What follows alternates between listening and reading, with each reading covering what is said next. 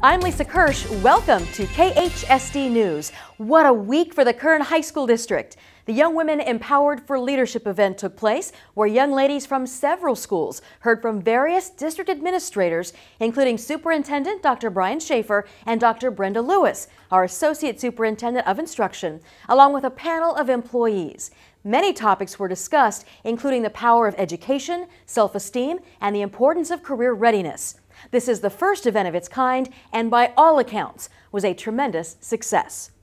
We had five schools competing in the Virtual Enterprise Trade Show and Business Plan competition. Anomalous, a virtual fruit juice company from BHS, won first place and will represent California in the international competition in New York in April. Several of our schools won awards in other categories, and all participants learned skills that will prepare them for college and career. Catch video highlights on kernhigh.org. Stockdale High School took top honors in Super Saturday. The mock trial team beat out 14 other schools and now moves on to the state competition in March. Third place went to Centennial High School, fourth to Liberty, and fifth to West High School. An honor court with two students from each school was also named.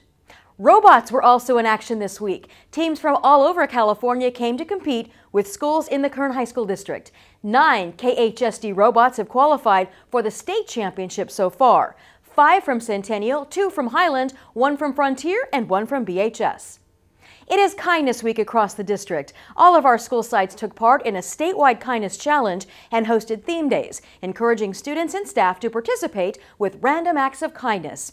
Arvin, for example, offered a kindness pledge. North shared a special video production. East Bakersfield High School had High Five Day.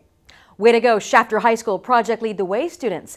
They represented the Kern High School District by presenting at the prestigious Project Lead the Way State Conference in Riverside. Follow us on Twitter, check out our website at kernhigh.org. I'm Lisa Kirsch. Thanks for watching this edition of KHSD News.